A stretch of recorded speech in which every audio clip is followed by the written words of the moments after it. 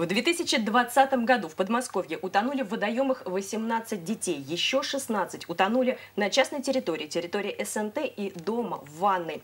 Уже есть погибшие и в этом летнем сезоне. Только за одни выходные в Одинцовском округе утонули три человека. Как предотвратить трагедию? Об этом мы сегодня и поговорим. Здравствуйте, в прямом эфире ОТВ, программа «Главная тема». Меня зовут Евгения Августина.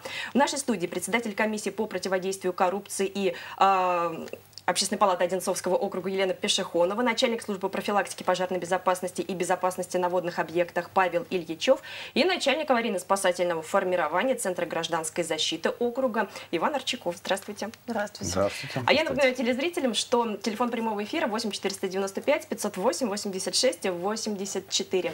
Звоните, задавайте ваши вопросы гостям в студии.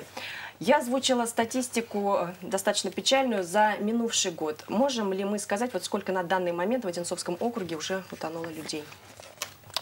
По состоянию на сегодня утонуло 6 человек на территории Одинцовского городского округа.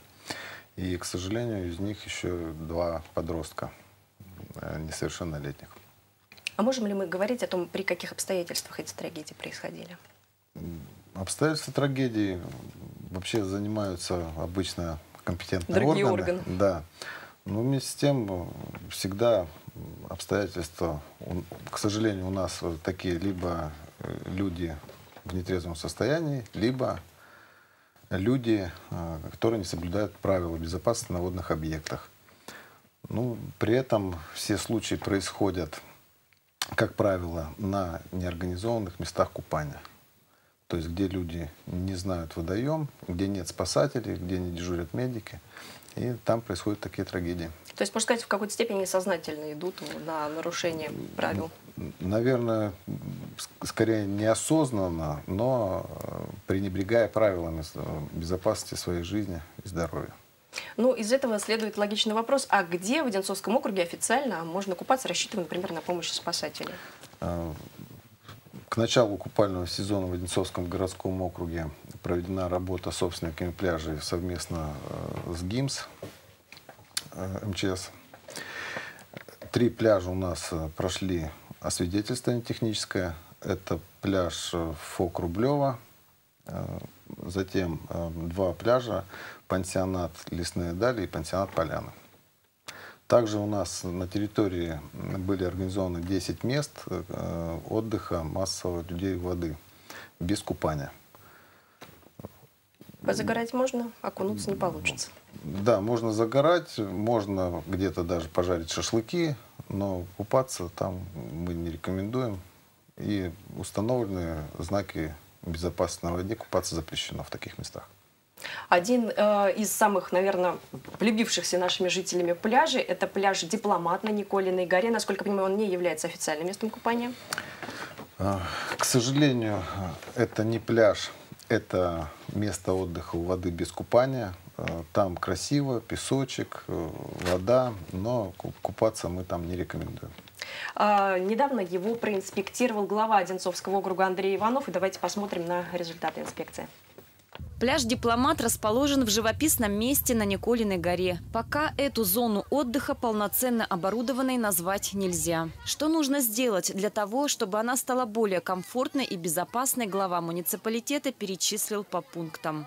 Для нас самое главное, это, конечно, парковка, с чего начинается пляж, удобная парковка, доступная для э, всех посетителей. Это пост, э, пост э, так называемой безопасности, кто следит за тем, за людьми, которые находятся в воде, и служба спасения, так называемая. Это медицинский кабинет, это зона, где можно переодеться, это душевые, где можно ополоснуться, это, конечно, туалеты. Э, лежаки, зонтики, тут весь э, тот набор, который э, сегодня соответствует стандартам Подмосковья по пляжным зонам. В отличие от пляжа Рублева в Микинино, это место вполне можно назвать диким. Однако среди отдыхающих пляж «Дипломат» издавна пользуется большой популярностью. В соответствии с региональными стандартами сюда уже завезли более 150 тонн белого кварцевого песка. А дальнейшее улучшение условий отдыха будет обсуждаться, пояснил глава. Хорошая погода в Подмосковье, жаркое лето. И, конечно, такой вид отдыха пользуется большой популярностью, спросом. И мы вкладываемся в наши пляжи и места отдыха, в том числе не соприкасаемые с водой. Есть еще у нас порядка шести зон отдыха, где мы планируем э, также обеспечить э, возможность для пляжного волейбола, для э, зон, где можно позагорать, отдохнуть, но без выхода к водной глади.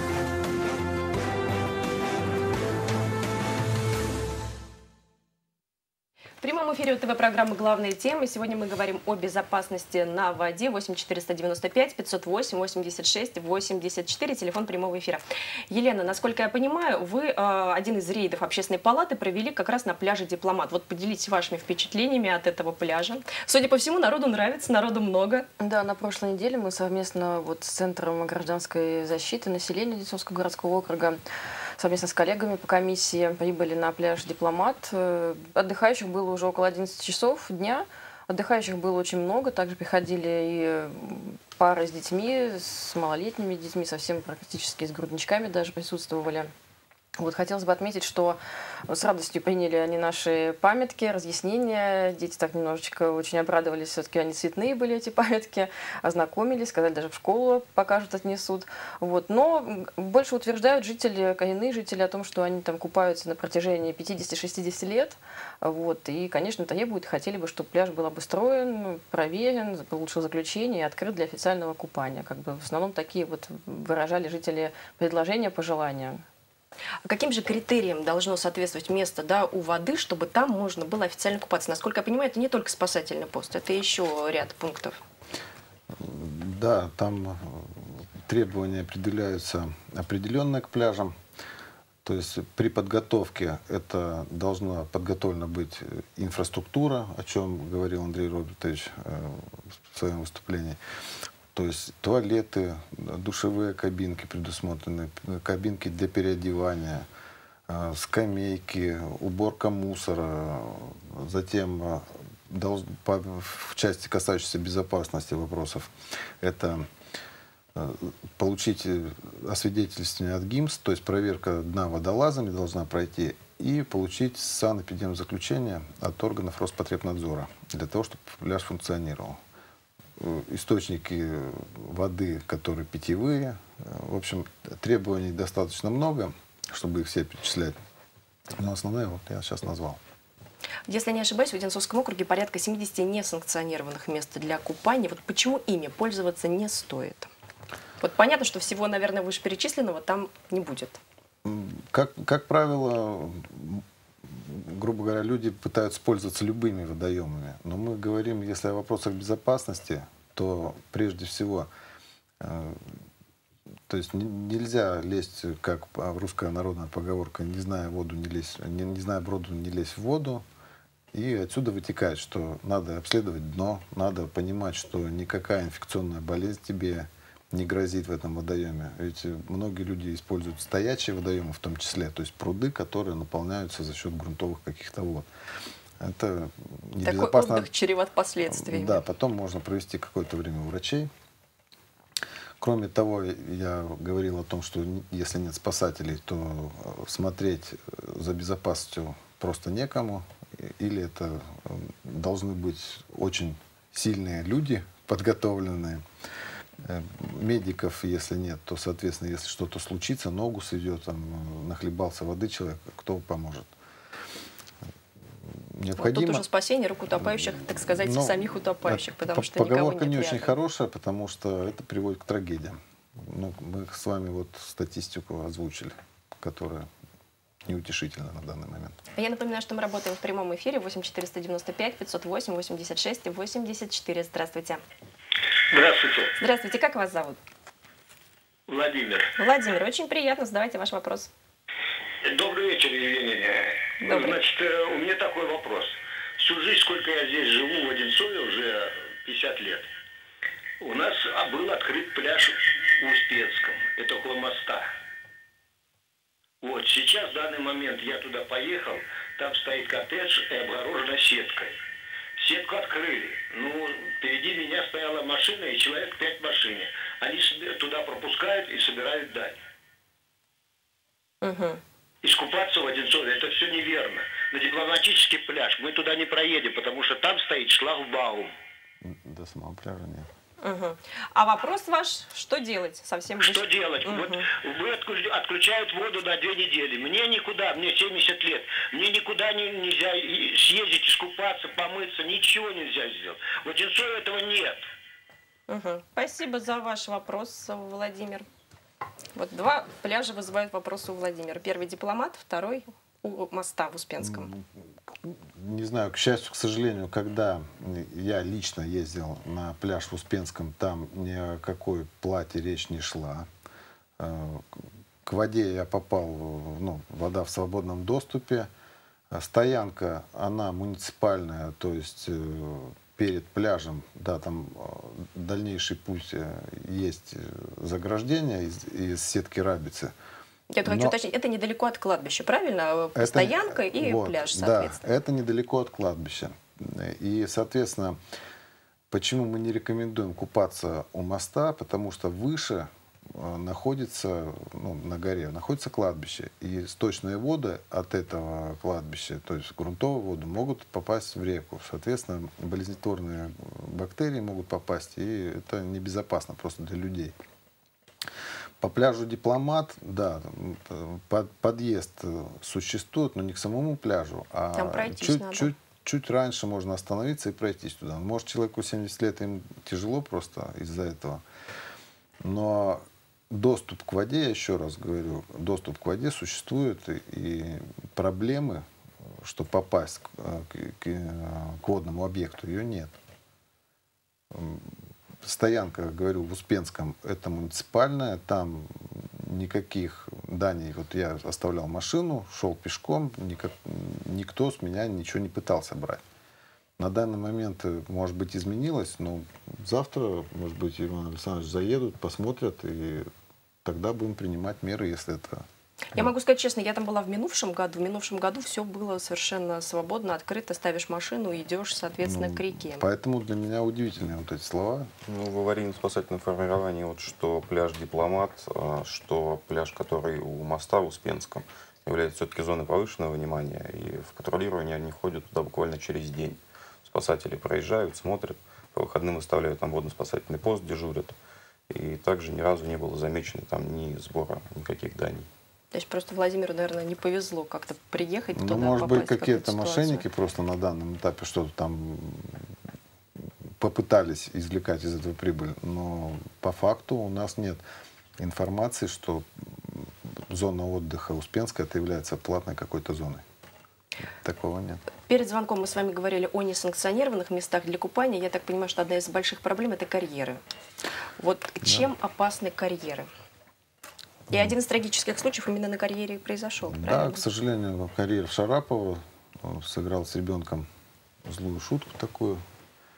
Спасателей не было, опять же. Взрослые находились на достаточном удалении. Ребенок остался без присмотра один. И ну, в компании друзей, которые, скорее всего, либо сначала не обратили внимания, либо не смогли ему помочь. Но трагедия случилась. Карьеры, по сути, это выработка песка, которая на большую глубину ведется. Потом затопляется теми же грунтовыми водами, либо там близлежащими родниками, ручьями. И отсюда возникает вопрос, что глубина, как правило, у карьера сразу же идет на резкий спуск, прибрежная зона, скажем так. И глубина у нее достаточно большая для того, чтобы ну, дети, во всяком случае, утонули там ну, то есть вероятность такая существует. Второй вопрос, что карьеры все-таки это не какие-то проточные, опять же, воды, это воды стоячие, где могут заводиться и микроорганизмы, и другая флора, фауна жить. То есть мы не рекомендуем пользоваться для купания карьерами. Иван, вы сказали про патрулирование водных объектов. Вот расскажите, пожалуйста, как часто это проводится, какие объекты, какие места патрулируете? Угу. И что это из себя вообще представляет? Да, проводится это ежедневно в период всего купального сезона силами аварийно-спасательного формирования. Мы ездим каждый день по местам неорганизованного отдыха, по местам организованного отдыха без купания. А для этого, естественно, есть у нас и все необходимые средства спасения на воде, такие как круги, конца Александрова. У нас есть лодка моторная, мы патрулируем также и по водным объектам непосредственно. Вот. Особое внимание обращаем на купающихся людей. С ними, спасателями, проводятся обязательно инструктажи, беседы, рассказывается про правила поведения на воде. В очередной раз всегда всех предупреждаем, то, что купаться здесь все-таки не стоит. Ну, это в местах без купания.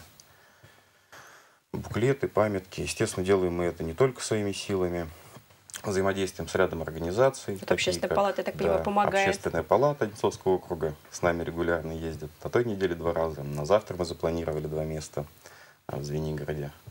С нами также ездят сотрудники МЧС, Мособлпошспаса, а, с полицией с Одинцовской, а, волонтерские организации также помогают.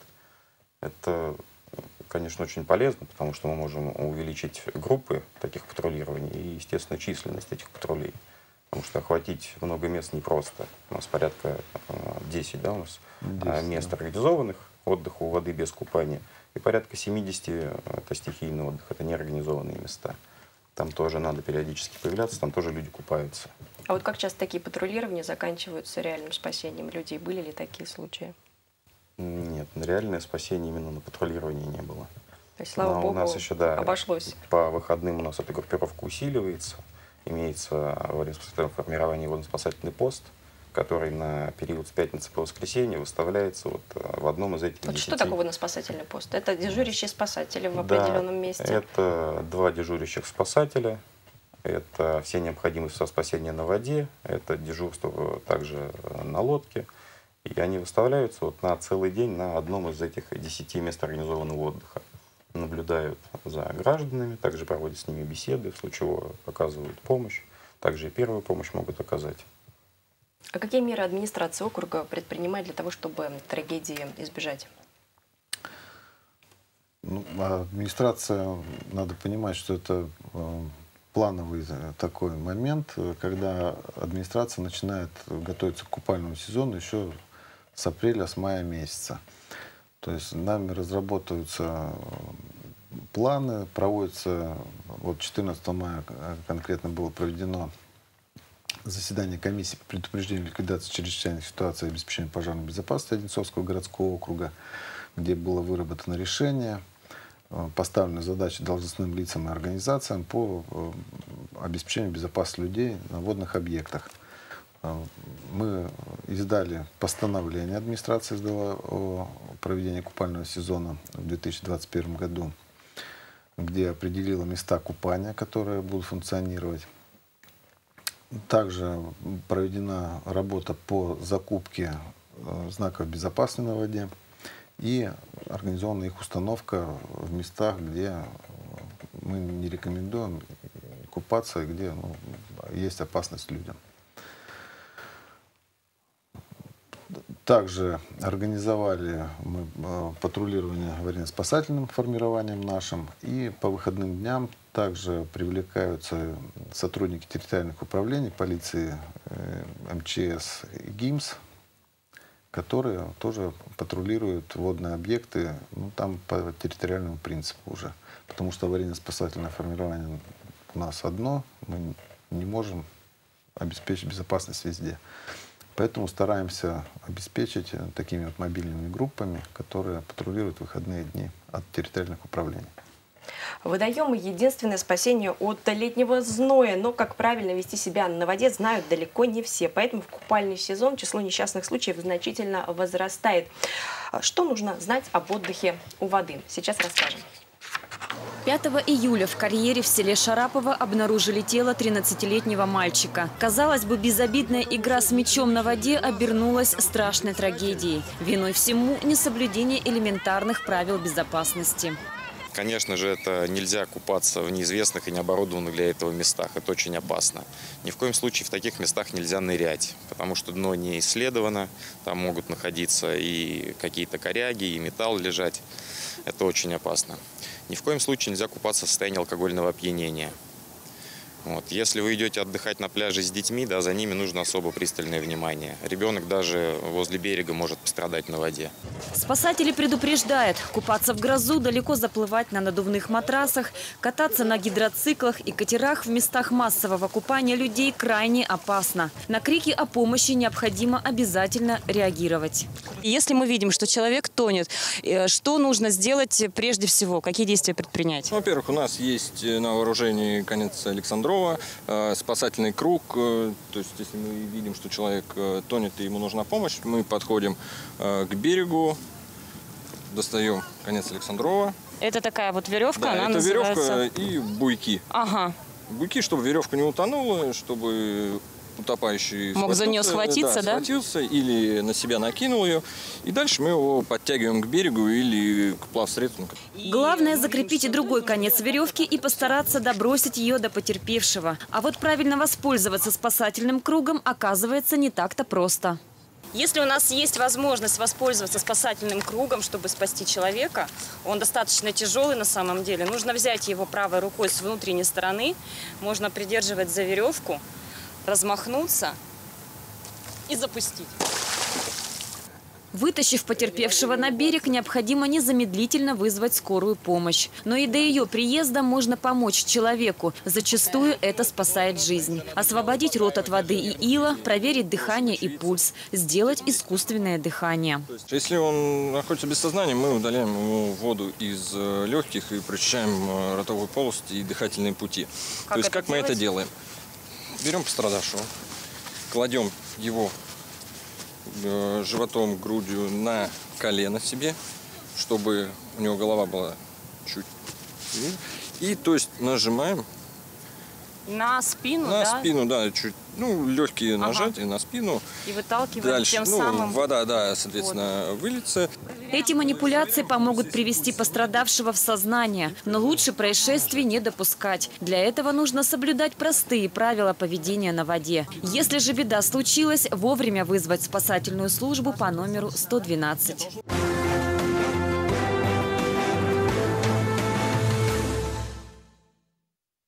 Прямом эфире ТВ-программы «Главная тема». Сегодня мы говорим о безопасности на воде. 8 495 508 86 84.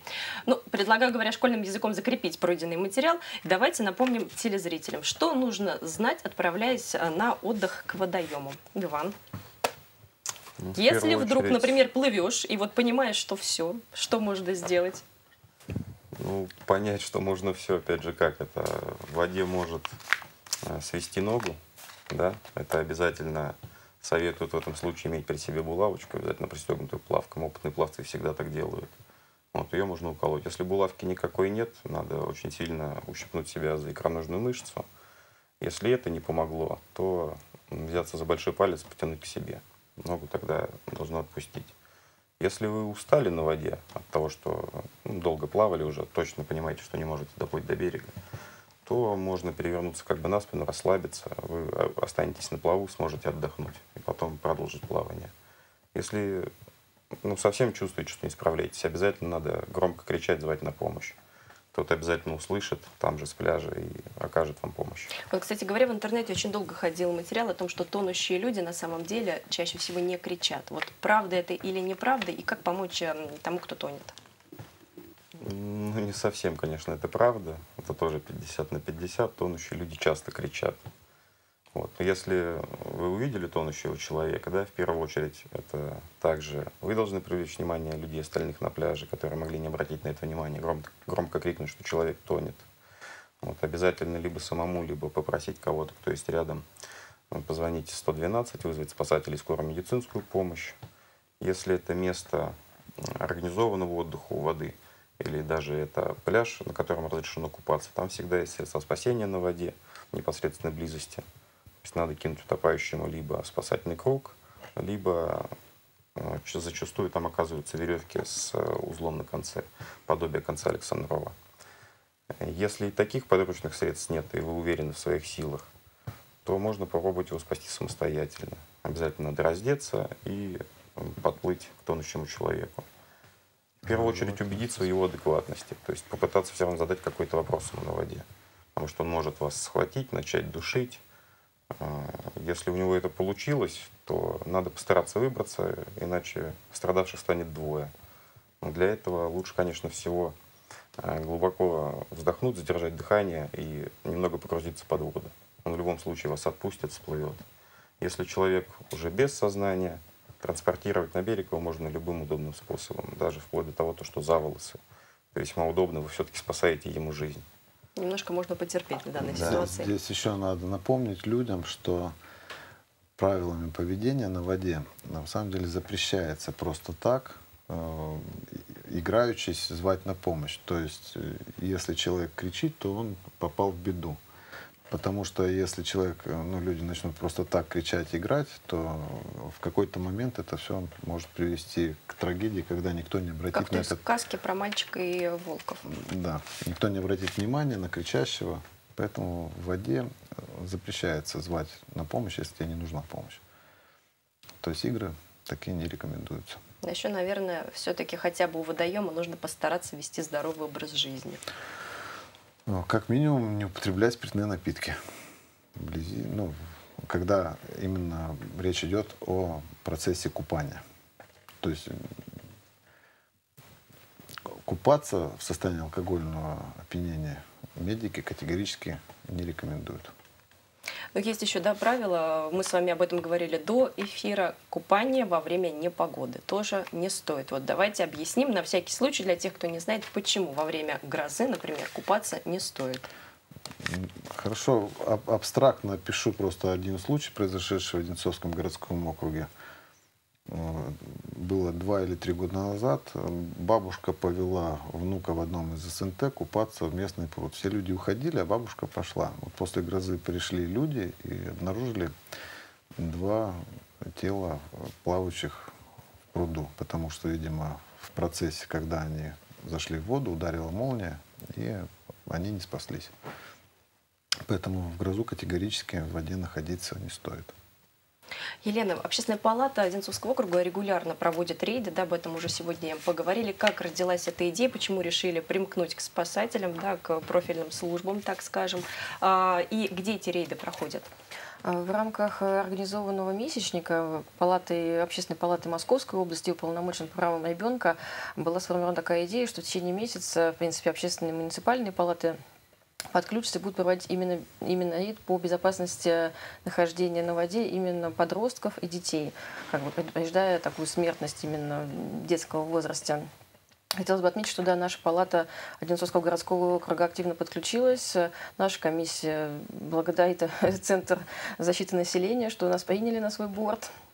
Наша комиссия была на двух пляжах. Это вот в Успенском под мостом и на Никольной горе, это на пляже Дипломата. Реакция жителей, я уже да, повторюсь, наверное, в эфире, что они хотят там купаться, хотят, чтобы они были благоустроены, хотят, чтобы их э, услышали, в принципе, и в администрации, потому что многие туда приходят, кто рядом живет, кто приезжает на протяжении уже очень долгих лет. Также хотелось бы добавить, что, в принципе, профилактические работы, которые проводятся, ну, чувствуется, что люди, в принципе, не безграмотные, знают, что в этих местах очень сильное течение. Хотела бы тоже об этом предупредить.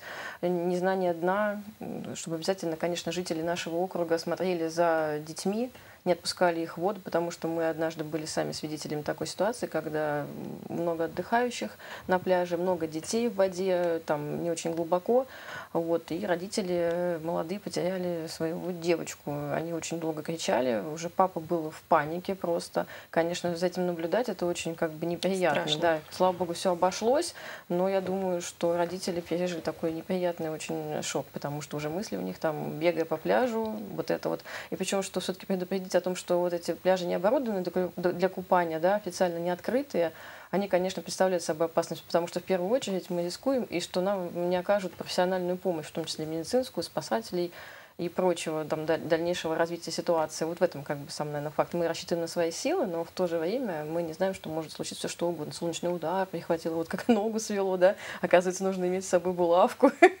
правильно еще ей воспользоваться. Вот, в принципе, вот у нас 26 июля проводится этот месячник, и мы вот завтра тоже планируем посетить именно пляжи, которые разрешены купанию официально открыты. Это Рублево, знаю, что посещали, и глава посещал округа, и, в принципе, наши общественники тоже были там. Мы вот хотим проверить лесные дали и поляны, которые примыкают именно к пансионатам, потому что после нашего, в принципе, рейда, мониторинга, поступило очень много обращений. У жителей не знают, что там, как пройти, как попасть на них. И мы хотели бы самостоятельно пройти завтра этот путь, чтобы рассказать жителям, как можно, в принципе, искупаться на месте, где разрешено купание, безопасно, и спасателях, и, в принципе, все вот эти условия им озвучить в дальнейшем. А кто от общественной палаты участвует в этих рейдах? Это общественники, волонтеры, если можно сами, так сказать? в основном сами члены общественной палаты. Вот вижу, что по активности наша комиссия по противодействию коррупции, открытости власти в составе со Смагиным Никитой мы вот э, с Иваном Александровичем были в последний раз. Завтра тоже планируем присоединиться. Председатель окружной общественной палаты Мариана Кристалинская вместе с членом родительского сообщества Екатериной Саприкиной провели беседу по безопасному поведению на воде с посетителями одного из пляжей. Внимание на экран. Мы на самом деле вот просто сейчас как родители, как общественники ведем такую профилактическую работу угу. против э, травматизма и гибели детей на воде. Кристина Иванова – мама двоих детей. Чтобы освежиться и позагорать, пришла с ними на пляж. Наслышана о несчастных случаях на водоемах. Говорить за активными мальчишками нужен глаз да глаз. Вы знаете, я прежде всего мама, и я руководствуюсь, наверное, самыми а, инту... инстинктивными такими средствами защиты. Я всегда нахожусь рядом, и всегда он у меня должен быть в поле зрения. И если и обязательно в воду заходит с кругом и с какими-то оборудованными средствами. Вот и всегда ребенок должен быть визуальном контакте с мамой. В жару пляж – настоящее спасение, но многие из них не санкционированные. Это значит, что на помощь спасателей рассчитывать не приходится. Одно водоема вряд ли обследовано, поэтому риск травмирования и даже гибели очень высок. Разъяснительную работу с посетителями одного из таких пляжей провела председатель общественной палаты округа вместе с представителем родительского сообщества. Безусловно, такой досуг должен приносить только радость, удовлетворение, но никаким образом не является а, причиной каких-то несчастий, не дай бог гибели. И самое страшное – гибели детей. Поэтому мы подготовили вот такие информационные а, листовки – которые мы раздаем семьям с детьми, проговариваем еще раз, на что надо обращать внимание. Мониторинг показал, большинство родителей осознанно подходит к пляжному отдыху с детьми. Родители реально готовы, и они приходят э, с детьми и несут за них ответственность, не просто там лежат и загорают, а именно следят за своими детьми, как те проводят время э, в воде. А, большинство родителей местные и очень хорошо знают это место, пляж. По статистике, чаще всего получают травмы и гибнут на водоемах подростки в возрасте от 10 до 16 лет. Поэтому оставлять их без присмотра ни в коем случае нельзя. Но самое главное – выбирайте только специально оборудованные зоны отдыха у воды.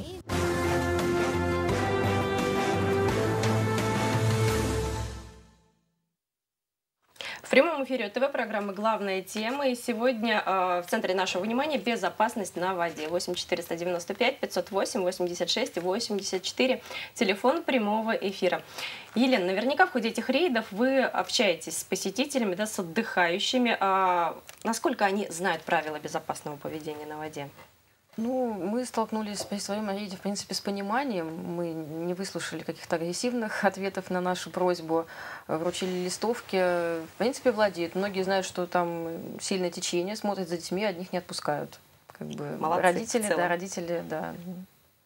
Раздаете красочные листовки, мы сейчас это видели да. в материале. О чем э, там в первую очередь рассказывать? Они рассчитаны на детей, правильно? Ну, больше на школьный возраст, да, но, в принципе, они полезны также и родителям, и старшему поколению, потому что, в принципе, они с такого содержания, что э, нужно купаться в местах э, разрешенных к купанию, смотреть за детьми, не отпускать их в воду одних, ну, в принципе, также там мы раздавали листовки, если вдруг пляжи где-то оборудованы моторными средствами, как лодкой пользоваться, как оказывать, в принципе, первую медицинскую помощь. Также вот реакции на то, что если кто-то просит помощи из воды, чтобы не злоупотреблять э, вот этими словами, криками из воды, не играться, как это, аку, акула, тону, все дела.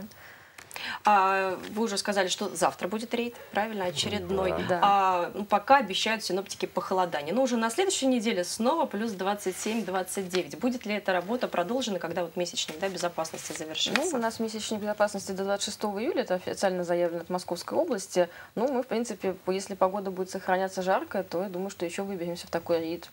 Почему нет? А я предлагаю такие итоги довести программы повторение мать учения, да, как говорится, мы все, наверное, эту фразу со школы ненавидим, но тем не менее.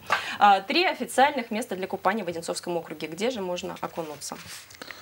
Пляж Рублева, э, пляж санат... пансионатов э, Лесные Дали и э, Поляны. Это, если территориально, то это территориальное управление Успенское. Почему нужно делать э, выбор именно в их пользу, а не идти, там, может быть, в тот водоем, который ближе, или тот, который знакомее, там, может быть, с детства? Еще раз повторимся, наличие спасателей и медиков, оно э, залог безопасности э, вашей на воде, потому что вас могут спасти, оказать медицинскую помощь, стало плохо от, от солнца или что-то, медик всегда окажет помощь. А спасатели бдительно охраняют покой отдыхающих их здоровье и жизнь. Ну и в финале, я думаю, не лишними будут еще раз советы спасателей. Что делать, если на воде произошла беда? Ну, сказать, если на воде произошла беда, ну, я уже говорил, то, что человеку необходимо да, помочь, это уже услышали. Можем продолжить разговор на эту тему и э, что делать, если человека вы уже вытащили. Да? То есть э, любой гражданин может э, сам оказать ему первую помощь. Да? Ее надо оказывать до приезда медицинских служб непрерывно. Вот в первую очередь это, конечно же, его надо положить животом себе на колено и, надавив на спину, попытаться очистить желудок и легкие от воды. Вот. А также очистить полость рта, потому что он а, на дне мог уже нахвататься песка, ила и прочего. А, если этого сделать не удалось, то есть никаких нервных рефлексов у человека не появилось, то необходимо приступить к реанимационным действиям. Это также каждый человек должен знать, должен уметь. Это искусственное дыхание, непрерывный массаж сердца. Вот. Как только дыхание у него возобновилось, он подал признаки жизни, еще раз также попробовать очистить а, желудок и легкие от воды. Вот, обязательно вызвать скорую медицинскую помощь. Вот, до приезда контролировать его, не отходить от него ни на секунду, даже если он уже почувствовал себя лучше.